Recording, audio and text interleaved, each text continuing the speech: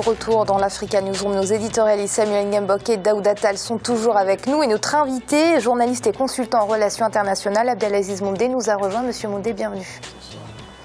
Et tout de suite, c'est le dossier du jour.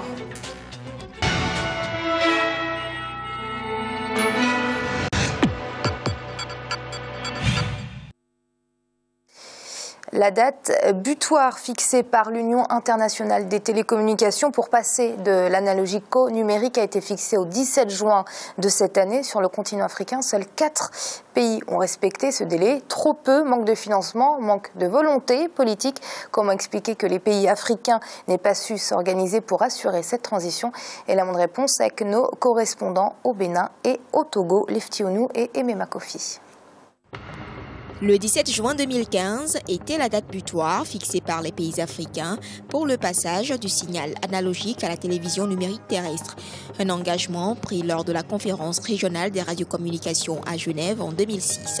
À la date d'aujourd'hui, plusieurs pays africains ont manqué le rendez-vous. Au rang de ces pays figure le Bénin.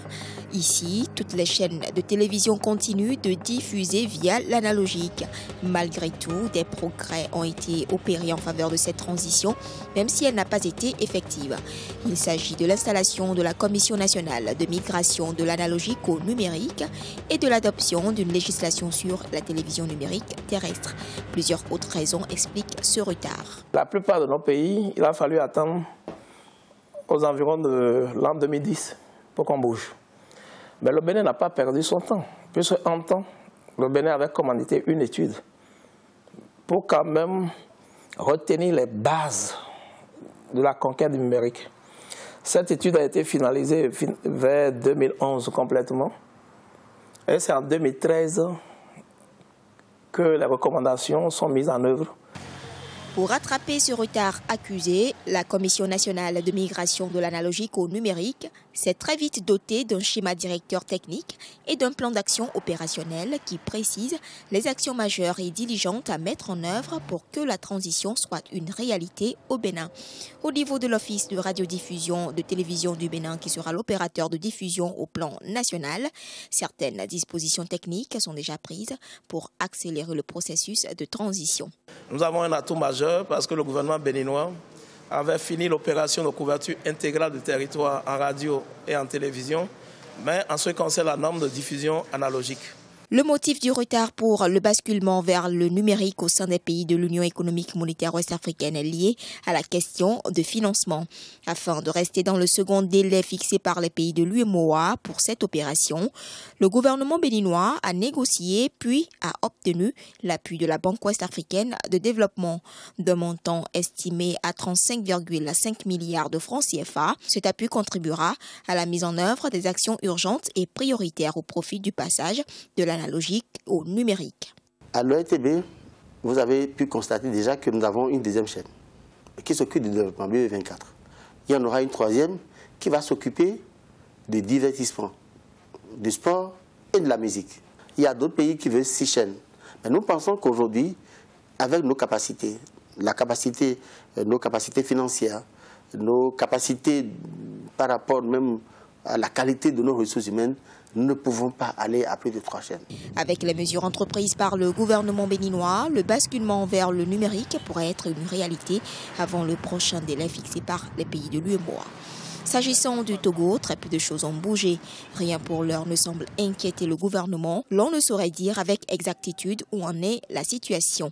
Mais la question semble beaucoup plus préoccuper les médias privés regroupés au sein d'une association dénommée Union des télévisions privées du Togo.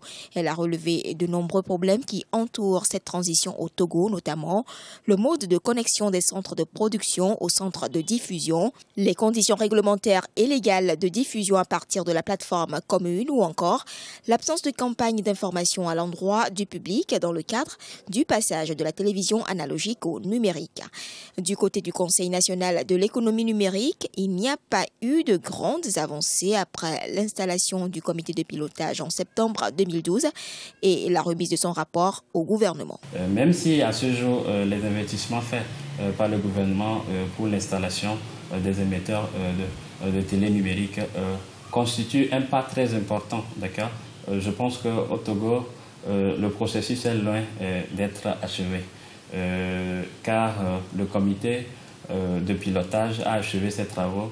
Le comité attend toujours l'adoption des projets de tests élaborés l'ouverture de, de, la campagne officielle. Pour de nombreuses raisons, surtout liées au financement, le Togo n'a donc pas pris le train du 17 juin en marche.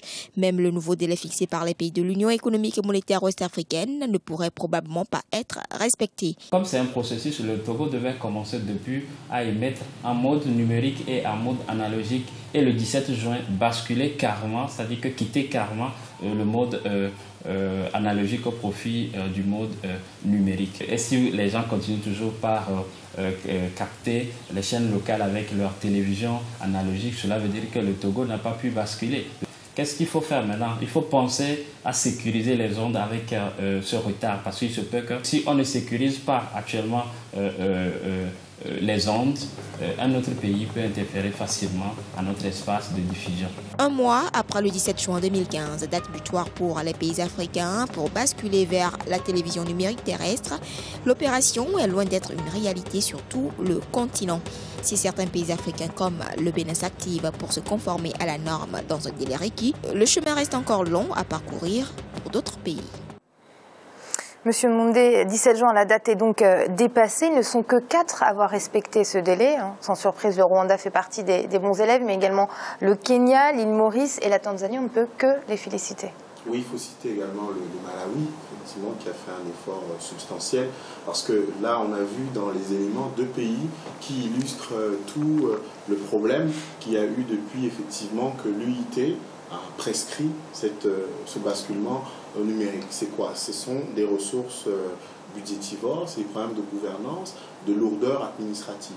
Parce qu'il faut savoir que les montants de financement, à peu près de 90 milliards pour l'ensemble de ces pays-là, notamment de l'UEMOA, servaient euh, principalement à la mise en place d'un de réseau d'émetteurs, euh, d'un diffuseur spécialisé. Effectivement, comme on l'a vu, la plupart des pays ont choisi les offices de radio-télévision publique. Il y a également les campagnes d'information pour pouvoir sensibiliser les populations effectivement à ce basculement. Et puis, euh, quatrièmement, c'est l'achat, le subventionnement des décodeurs. Dans le cas du Cameroun, par exemple, il y a une expérimentation entre Douala et Yaoundé, donc les deux principales villes, avec un coût de décodeur moindre, parce qu'il fallait effectivement que les populations puissent accéder, étant entendu que le parc euh, de téléviseurs est un parc euh, inadapté, donc analogique.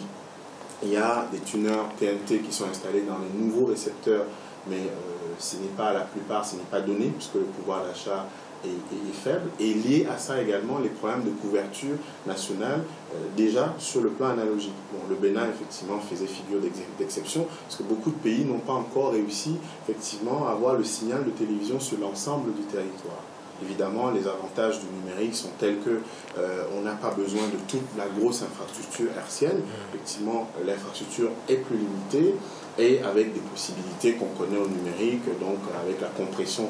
Et à des compressions, on a un canal qui est libéré pour pouvoir avoir euh, beaucoup plus de chaînes et euh, que les fréquences effectivement puissent être partagées par un certain nombre d'opérateurs. Donc voilà un tout petit peu euh, à mon avis, euh, le cadre fixé et puis les difficultés qu'ont eu ces pays-là, donc des questions d'anticipation, parce qu'il y a des priorités euh, sur le plan budgétaire. Hein. priorité, c'est les questions de lutte contre la pauvreté, de réduction de la pauvreté, de développement, de construction de routes, et qu'on a pensé que ça viendrait peut-être comme ça. Mais le numérique, c'est pas la magie, c'est mhm. vraiment quelque chose de sérieux lequel il faut Oui, c'est vrai, Samuel, on a clairement l'impression que les États africains n'ont pas pris conscience de l'utilité de cette transition de l'analogique au numérique.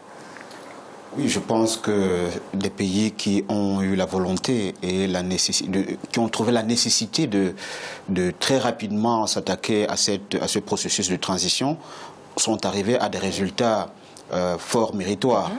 On a, vous avez parlé du Malawi, de la Tanzanie. Ce ne sont pas les pays les plus riches du continent. Et ce qui est d'ailleurs étonnant, c'est que les trois premières puissances économiques du continent, le, Nigeria, l'Afrique du Sud, l'Égypte et le Maroc, n'ont pas pu atteindre les résultats que ces pays ont pu enregistrer. Donc ça montre que c'est d'abord un problème de, volonté, de volonté politique, mais aussi de capacité de, de planification il y a le sérieux qui se dégage dans ces pays, que ce soit le Rwanda ou la Tanzanie, qui montrent très bien qu'ils ont accordé une priorité toute particulière au secteur de la communication, au secteur des technologies de l'information et de la communication, parce que ce sont des secteurs qui sont importants pour leurs économies.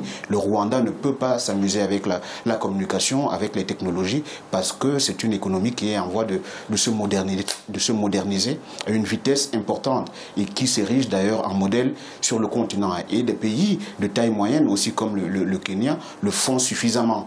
Donc les pays qui n'ont pas pu réaliser des résultats conséquents sont ceux-là qui n'ont pas pu intégrer le secteur de la communication, des technologies comme étant priorité de leurs axes gouvernementaux de développement. Justement, Daouda, pour ces pays qui n'ont pas réussi à respecter ce délai, est-ce que cette transition est une nécessité? Bah, Aujourd'hui, c'est une nécessité, Amira, étant donné qu'on a quand même une... Euh la mondialisation hein, oblige, hein, euh, et puis euh, les avantages que notre invité a cités tout à l'heure au niveau de, de l'espace qui est mhm. libéré, au niveau de, de, de, ce qu'on peut appeler euh, les dividendes numériques, hein, c'est quand même assez, assez intéressant à ce niveau-là. Et puis ça va permettre aussi de démocratiser l'offre de télévision, parce qu'il y a des pays où finalement on a une chaîne, c'est la chaîne nationale, qui est la chaîne de l'État finalement, et puis à côté il y a Ovid.